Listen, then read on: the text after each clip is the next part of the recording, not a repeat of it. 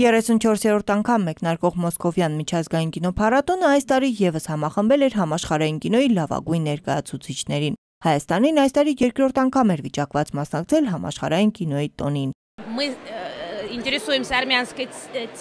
Ես հետաքրքրված եմ հայկական թեմաներով, որովհետև երակներովս հայկական արյուն է հոսում։ Ֆիլմի մասին շատ եմ լսել։ Թեման նույնպես շատ ակտուալ է։ Դրա համար որոշեցի անպայման գալ եւ նայել ֆիլմը։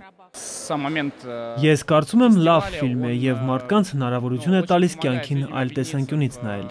Միջազգային կինոփառատոնին Հայաստանը մասնակցում է Արցախյան հերոսամարտի մասին ֆիլմով, որը ներկայացված է հերանեկարներ մրցութային ծրագրում։ Հայ-ռուսական համատեղ արտադրության «Եթե բոլորը» ֆիլմը մեծ էկրան բարձրացավ նախորդ տարեվերջին եւ միանգամից ընդունվեց կինոյի աշխարհում։ Ֆիլմի պրոդյուսեր Միքայել Պողոսյանը Մոսկվայի միջազգային կինոփառատոնին մասնակցությունը յուրօրինակ հաղթանակ է համարում։ Ֆիլմը հասել է իր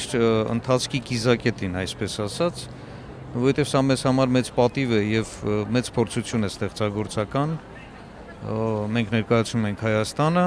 Եթե բոլորը ֆիլմը նվիրված է Հայաստանի անկախության ու բանակի ստեղծման 20-ամյակին։ Հերոսու 5 կիսովչափ հայուհի, կիսովչափ ռուս Սաշան ազատամարտիկի դուստր է։ Նրա հայրը զոհվել է Արցախյան պատերազմում։ 20 տարի անց Սաշան գալիս է Հայաստան հոր գերեզմանը գտնելու եւ իր հետ բերած կեչին տնկելու։ Սակայն Հայաստանում 20-ամյա աղջկան հիասթափություն է սպասվում։ Հոր մարտական ընկերների օգնությամբ նա պարզում է, որ իր հոր գերեզմանը մնացել է սահմանի այն կողմում Կարտինա затрагивает общечеловеческие ценности։ Ֆիլմում վեր են հանված համամարտկային խնդիրներ, որոնք վերաբերում են աշխարհի տարբեր ծայրերում ապրող մարդկանց։ Ես կուզենայի, որ այս ֆիլմը նայեն նաև Ադրբեջանում եւ այլ երկրներում։ Կարևոր է, որ մարդիկ ուղակի չպատերազմեն, այլ մի պահ մտածեն, ինչպես կարող են լուծել խնդիրը։ Не обозлялись, а только думали о том, как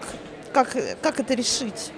Կինոյի տոնը Մոսկվայում շարունակվում է Փակման հանդիսավոր արարողությունը հունիսի 30-ին է։ Սյուզան Չիչակյան, ժամը լրատվական։